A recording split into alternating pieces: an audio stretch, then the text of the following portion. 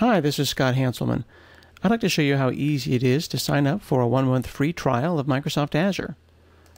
I'll click Try It Now, and I'll sign in with my Microsoft account. The sign up process is quick.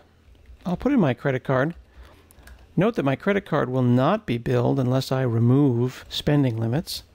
When I run out of my credit, my websites will shut down unless I choose to be billed. Now I'll click Portal and I can start using Azure immediately. I'll go through this quick tour. It gives me a sense of how to move around in the Azure portal.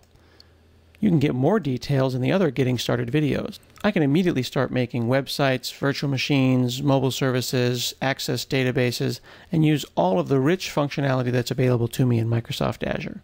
If you happen to be an MSDN subscriber, make sure that you activate your Azure MSDN benefit. It's no charge. You can use your MSDN software in the cloud, but most importantly, you get up to $150 in Azure credits every month. That's $1,800 plus a year. MSDN subscribers who use Azure also get a 33% discount on virtual machines and lots more. So make sure that you activate that benefit. You'll always know how much money you have in your trial and how many days remain until your credit expires.